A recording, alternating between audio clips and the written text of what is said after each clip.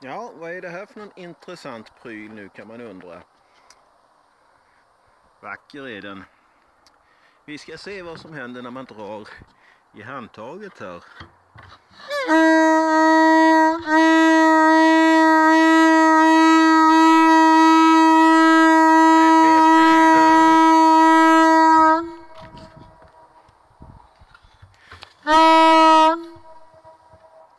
Kan vara något att väcka grannen med.